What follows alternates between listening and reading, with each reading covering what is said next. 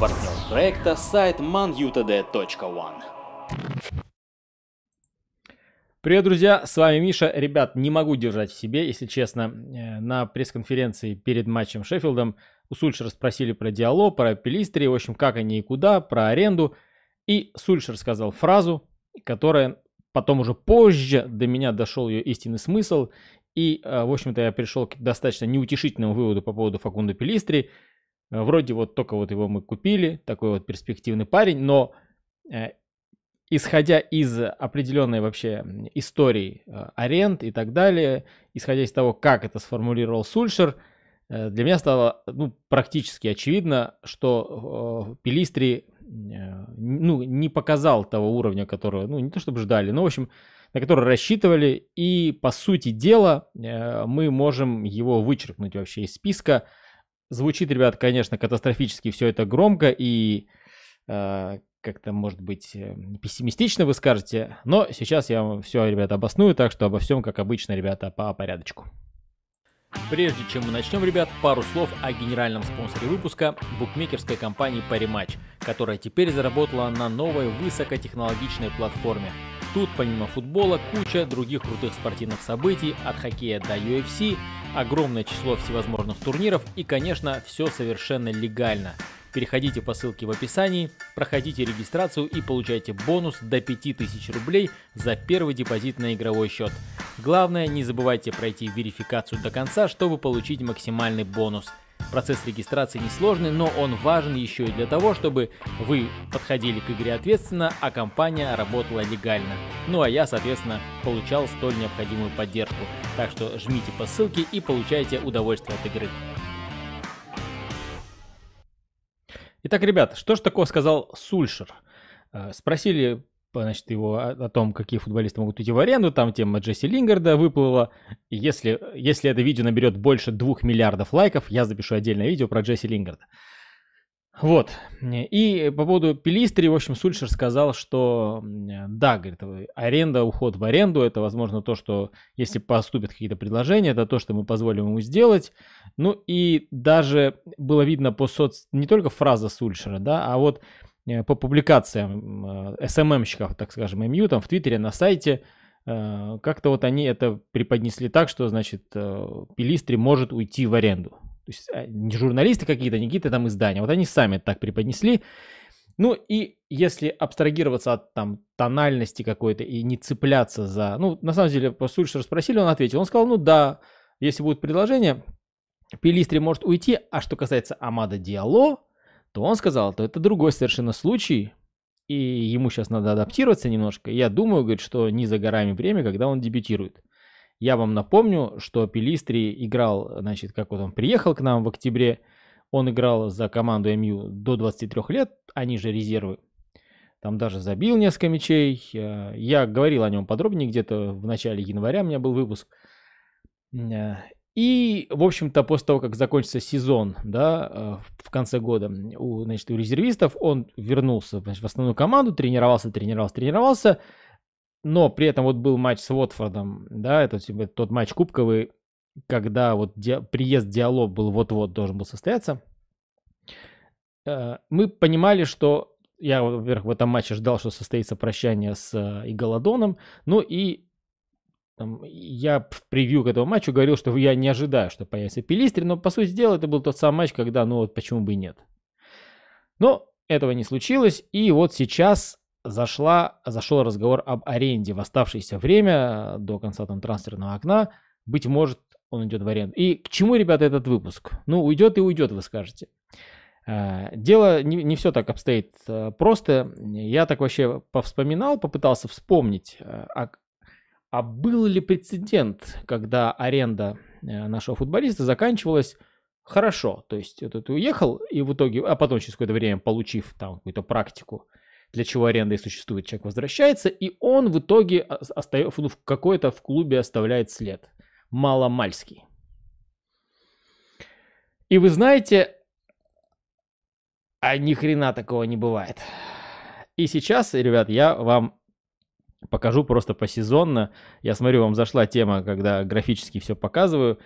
Э, я сначала попробовал, попробовал это сделать графически изобразить, но понял, что то есть с арендой там большой геморрой, потому что есть футболисты, которые там, э, там вроде Сэма Джонстона, например, да, которые там, или Ник Пауэлл, которые каждый год переходили в разные аренды. В общем, э, сейчас мы с вами зайдем, э, точнее, я уже, естественно, зашел на трансфер маркет, такой легендарнейший из сайтов. И здесь просто по сезонам посмотрим, кто ушел в аренду. И попытаемся вспомнить, и что вот как бы, и что с ним произошло. Ну, от сезона, значит, 2021 а, ну, у нас Смолинг, вот, то есть вот смотрим на графу Loan Transfer, да, трансфер в аренду. Э, вот, Жоэль Перейра, это, конечно, просто смехота. Можно отдельно про него открыть страницу, э, про этого вратаря, и вы посмотрите, просто посмотрите его послужной список, ребят, это просто какая-то хохма. То есть человек каждый, абсолютно каждый сезон появлялся, то есть вот он, наш воспитанник, да, вот он перешел, значит, в команду а, в команду до 23 лет. И сейчас тут какой-то звук пошел. А, тут пресс-конференция тренера Вулверхэмптона зачем-то.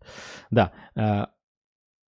А, вот, каждый сезон, значит, Перейра переходил в разные команды, и, то есть, когда сейчас мы увидим Перейру, наличие Перейры в, арендах, в списке ушедших в аренду буквально каждый сезон, не удивляйтесь, таких футболистов много, вот они реально скачут по клубам и никак не могут найти пристанище. Это на самом деле какая-то достаточно грустная тема, э, но вот мы держим игрока, игроков их много. Вот сейчас мы пройдем, ребят, по годам, которые просто годами, годами мечутся по арендам и заканчивается всегда все тем, что футболист уходит, уходит и, ну вот, или, значит, за деньги, или бесплатно. Ну вот там Чонг, э, а, Перейра Андреас у нас, значит, который в Лацио сейчас и тоже Перейра походил по всем клубам просто Европы. Ну да, это, это просто буквально вот э, свежие люди, вы их знаете, помните. Э, сейчас у нас, вернувшийся из аренды, сразу же, наверное, вам пришло на ум, это Туанзебе и Хендерсон. Я, конечно, это будет офигенно, если Туанзебе вырастет в защитника, который станет основным а Хендерсон когда-нибудь заменит Дехею и так далее, но пока что вся история клуба, ребята. Есть только один футболист, который в итоге стал э, ну, там, великим. Не обязательно, чтобы, не обязательно, чтобы там Пелистри становился великим, но хотя бы. Это Дэвид Бекхэм, ребята, который ушел в Престон Норт Энд, но он ушел всего на один месяц в аренду. Он пошел, поиграл, забил два гола. Один с углового прямым ударом, один со штрафного. Вот за этот месяц он успел сделать да, 19-летний пацанчик, вернулся в Манчестер, и дальше дальше вы знаете. Все остальные случаи полная шляпа. Погнали, ребят. Сезон 19-20. Вот, departures, да, как в аэропорту. Arrivals и departures. А, так, ну, Крис Смольник у нас ушел. А, вот Бортвик Джексон. Э, Борт, Бортвик Джексон, да. Э, тот самый Джоэль Перейра, на него просто уже не будем реагировать, он реально будет каждый год. Я вчера это все пробежался. Э, ну, там, Рохо, Алексис Санчес, понятно, да? А, вот. А, кстати, Джеймс Уилли, Уильямс, такой, Уилл, Джеймс Уилсон, помните такого нападающего, подававшего надежды во времена, э, во времена еще даже не Вангаля, а Моэса. Он, он в итоге тоже помучился, помучился и в итоге ушел. Просто, просто ушел а был реально талантливый. Скатываемся дальше. 18-19 сезон. А, ушли в аренду. Опять Перейра, Уилсон. Вот он, Туанзеби в Астон Туанзеби уходил два раза. То есть, смотрите, бывает, что один и тот же клуб, в случае с Туанзеби, да, то есть Астон но э, на этом сайте, если твою аренду продлевают еще на один сезон, то фактически это как новая аренда рассматривается. Вот Фосуменса, собственно, вот Фосуменса последний пример, как вернулся у нас из аренды, посидел, посидел, и уехал от нас. Так что пока что примеров нет. Идем дальше назад. 17-18. Кто ушел у нас? Вот Туанзеби, собственно, ушел. А, тот же самый Уилсон, вот этот несчастный Сэм Джонстон, вратарь. И, значит, Фосу Менса. Ну и здесь же, кстати, появляются ребята, которые, то есть, если освежить в памяти, Вот, например, в, этот, в этом году ушел от free transfer, видите, бесплатно в Эвертон ушел Уэйн Руни. Какие-то местами, вот Мхитарян ушел, да, местами какие-то такие эпохальные тоже появляются персонажи. 16-17 сезон. Вот.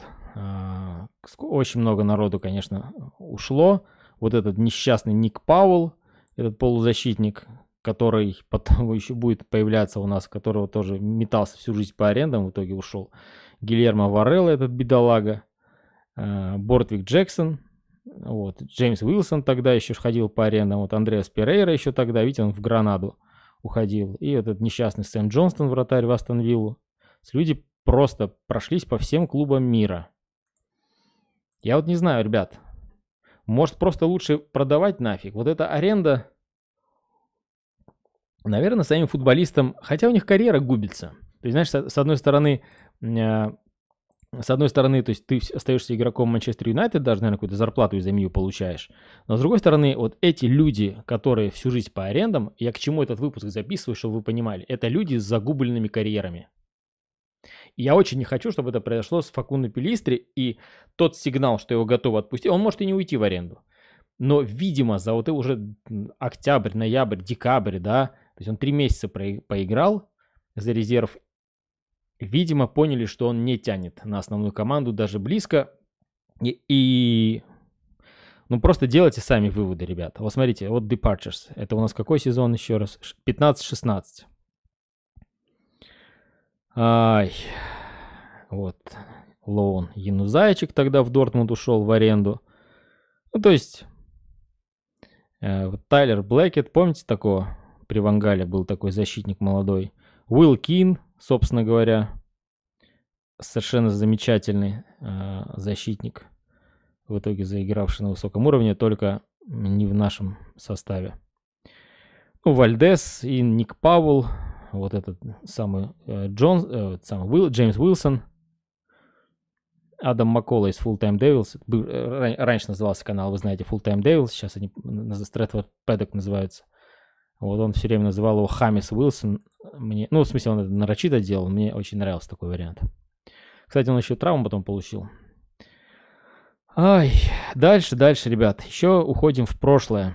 Уходим в прошлое. Вот у нас Рис Джеймс такой у нас был, э, left back, левый защитник, да.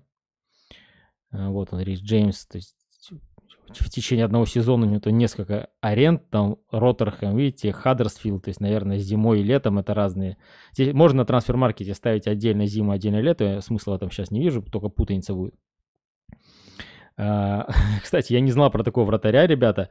Есть э, Милинкович Савич, который, вы знаете, да, который атакующий полузащитник Лацио, и его к нам в клуб сватали. Оказывается, у нас был Ваня, Ваня Милинкович Савич, а, такой вот сербско-испанский, да, судя вот по этому, а, по трансфер-маркету. Такой вратарь, оказывается, у нас был, который вот у нас ходил по трансферам. Очень-очень любопытно. Вообще впервые о таком слышу. Многие, кто, ребята, из аренды, вот, многих вообще я никогда не слышал. Том Клеверли, вот очень знаменитый персонаж прославился тем, что пытался выскрести мяч из ворот сборной Англии, когда, э, когда с центра поля забивал Ибрагимович через себя.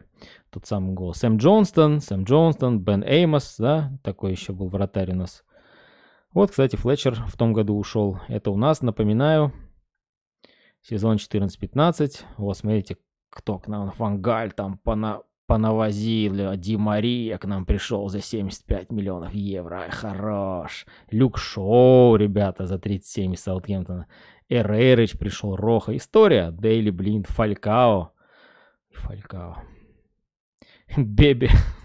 End of Loan. Тоже с Беби. Он тут, тут будет появляться. Тоже, конечно, ржачный персонаж. Ну вот. И Райан Гиггз, вот смотрите, тоже этот сезон был знаменит тем, что Райан Гиггз retired, завершил свою карьеру. Нани ушел, видите у нас. Джесси Лингард, ребят, пожалуйста. Джесси Лингард уходил в аренду в Дерби Каунти. Ай, ну да, Лингард, конечно, исключение. Лингард стал легендой. С этим не поспоришь. 13-14, погнали. Departures. А, вот. За ушел в Кардив, в общем, э, но за бабки небольшие. этот Риш Джеймс, Андерсон, великий, великий Андерсон, вот Майкл Кин, Уилл Кин. А, я в прошлый раз вам сказал про Уилла Кина. Конечно же, э, я имел в виду Майкла Кина. Да, центральный защитник. Уилл Кин, а, нет, он не заиграл. А вот Майкл Кин стал, да, действительно крутым защитником. А, так, вот, э, Бен Эймос опять, Македа, помните такого, ребята, персонажа, который забил гол Эвертону, который нас в итоге спас нам важные очки в борьбе за чемпионство, но на этом Македа закончился. А, Сэм Джонстон. Вот, пожалуйста. Райан э, Туни Клифф. Если кто-то слышал про такого человека, центральный полузащитник, то напишите. Я первый раз об этом такого увидел вообще. Э, Давид Петручи. Фамилия Петручи у меня связана исключительно с гитаристом группы Dream Theater, которую я бесконечно люблю. Пишите в комменты, кто еще любит эту группу. Но что за Давида, причем Давида, ну, итальянский, видите, с Е на конце. Вот. То есть мы уже отмотали, ребята, уже 7 лет практически. И пока не было ни одного человека, ушедшего в аренду, который потом пришел и принес какую-то клубу пользу. 12-13. Мы никуда сегодня не спешим. Погнали. Видите, то есть тот же самый Сэм Джонстон, Рис Браун, то есть они возвращаются и уходят. То есть они, они же то есть, присутствуют э, в категории Arrivals, кто приехал. Приехал, как приехал, так и уехал. Вот, пошли по аренам, ушли этот Рис Браун, этот Эймос, Майкл Кин. В общем, э, одних и тех же вот этот, в общем, Пеппи, Джонстон, не Пеппи, а Беби, За и те же самые все люди. Анхело Энрикес, я такого не помню, какой-то чилиец, какой-то был типаж, не знаю, что, откуда взялся. Давайте, давайте, мотаем дальше, никуда не спешим, ребята. Моя задача сегодня вам показать, что аренда – это просто досвидосик. В лучшем случае досвидосик в плане из клуба. А как показывает практика, вообще в целом эти люди, у них карьера не складывается. С великим сожалением я об этом говорю, ребят. Ай, кто у нас тут? Это у нас год какой? А, значит, это сезон 11-12 уже. Мы уже в глубоко фергюсонских временах практически. Беби, вот,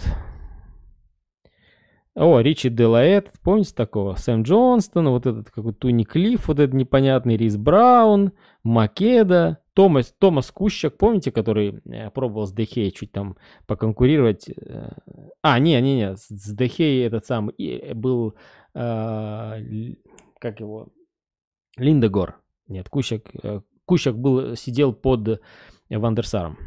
А, вот, Рис Браун, Овен Харгрис вот ушел бесплатно в Сити с катертью дорожка.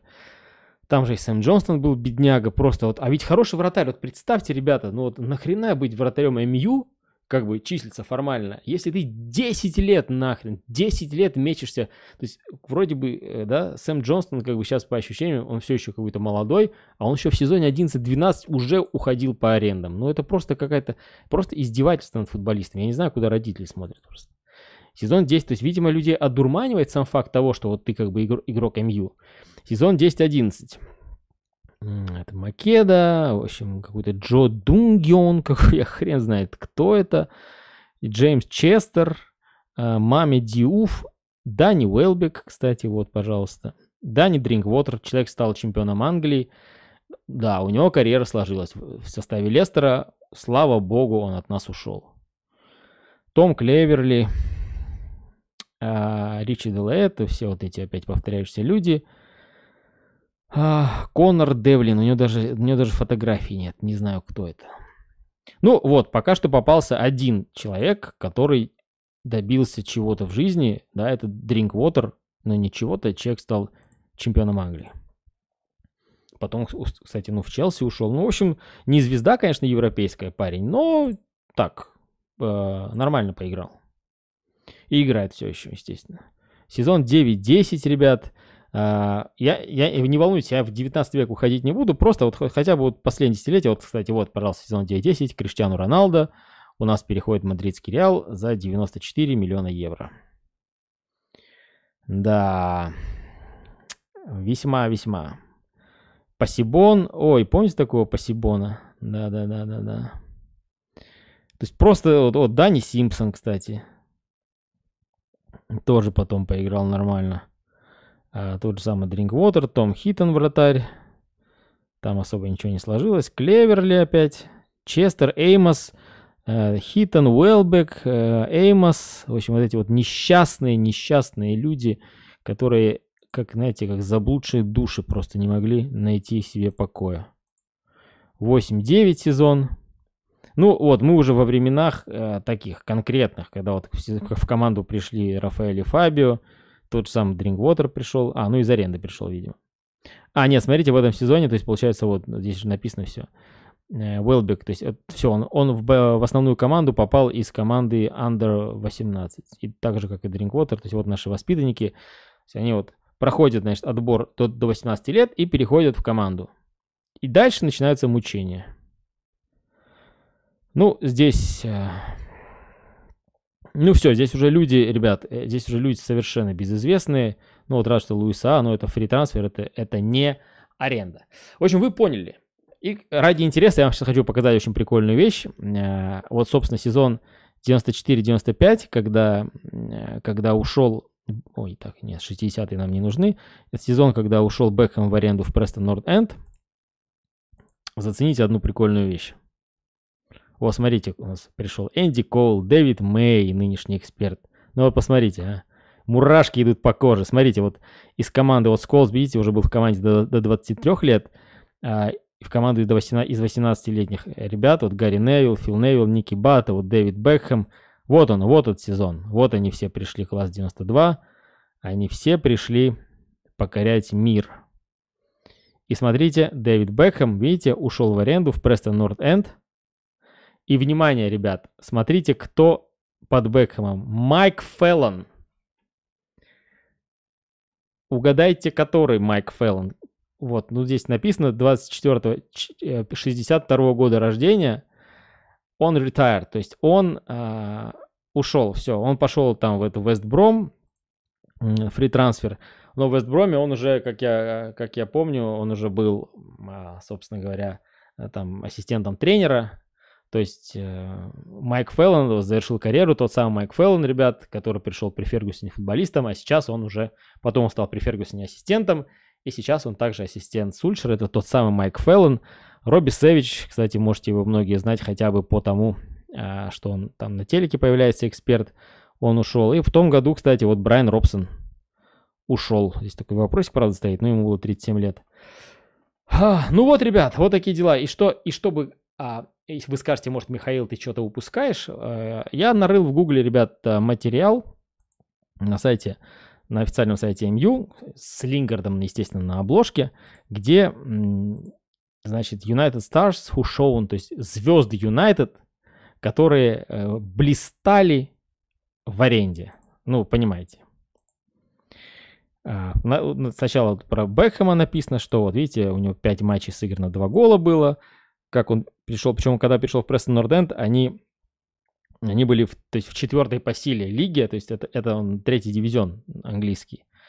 А, вот. И видите, здесь цитата его, когда он, когда его, его отправили туда в аренду, он реально был в шоке. И вот видите, я, was, я был в шоке, я думал, что это будет это, говорит, знак того, что э, клуб говорит, пытается избавиться от, от меня, ну, от игрока. Вот это золотые слова Бекхэма, на самом деле, ребят. Правильные у него были ощущения, но просто он еще тогда не знал, что он Бекхэм. И, и вот в, в клуб, это, это, это статья как бы не свежая, это статья 18 года, но э, сам, сам, сам клуб Манчестер Юнайтед просто при, такой написал материал, где вспомнил всех людей, кто мало-мальский, из кого получился нормальный человек, э, из тех, кто ушел в аренду. Том Клеверли, конечно, звезда мирового футбола. Джонни Эванс уходил в аренду. Вот. Эшли Флетчер. Слышали про Эшли Флетчера? Я нет. Алекс Форсайт, Рейнджерс. Капец. Бен Фостер. Анхело Энрикес. Сэм Джонстон. Да уж. Э, вот, вот это просто цинизм.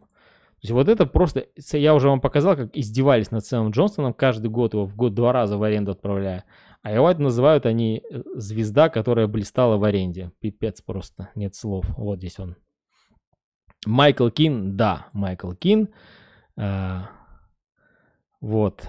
А, Джесси Лингард, Нани. Да, Нани звезда, но Нани стал звездой, играя за МЮ, а не после того, как он ушел в аренду. Жерар Пике стал легендой мирового футбола, но не в Манчестер Юнайтед. И, кстати, любопытно, что здесь появляется такая ссылка на статью про Хендерсона, который, видите, ушел в аренду. Тогда еще они не знали, что он э, вернется. Киран Ричардсон. Короче, Дани Уэлбек.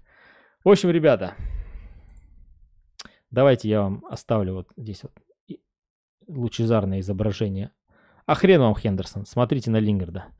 Вот. А, по поводу, возвращаясь к, к Факунду Пелистри, ну, сами делайте выводы, ребят. Я тут распинался 25 минут, и аренда это с вероятностью 99% это до свидосик. То есть на тебя посмотрели, поняли, что ты... Не, у них же глаза заточены, ребят. Ну, не-не, не тянешь ты, братан, на основной состав, и только будешь мучиться, и пойди куда-нибудь. А за него, за Пелистри, за него, собственно же говоря, давайте вернемся на трансфер-маркет, за него же заплатили баблосики.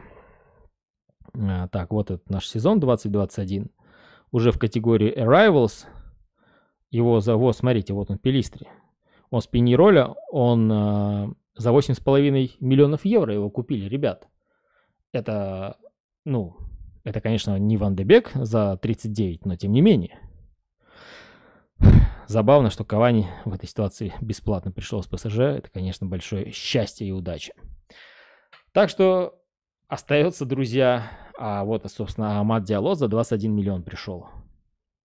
И хоть, надеюсь, хотя бы из диалога получится а, толк, а, и мы его увидим где-нибудь в кубковом матче, я не знаю, может против Вестхэма 10 февраля в Кубке Англии, черт его знает. Очень хочется на него посмотреть, на Диало. Он именно как раз правый вингер, да и Пилистри вингер, но вот такая вот история. Но хотя пока что он не ушел Пилистри, но Сульшер сказал, что клуб готов его отдавать. Вы все поняли, друзья. Ваша задача все еще остается предельно... Во-первых, молиться за карьеру Факунда Пелистри. Новое, значит, галочку поставьте себе в органайзер. Не забывайте поддерживать наших замечательных э, друзей из manutd.one, ребята. Э, не забывайте про наши социальные сети. Они просто лучшие, лучшие в мире. И, ребята, конечно же, подписывайтесь, ставьте лайки. Никогда не отчаивайтесь, потому что мы с United. С вами был Миша. Пока-пока. Потому что мы United.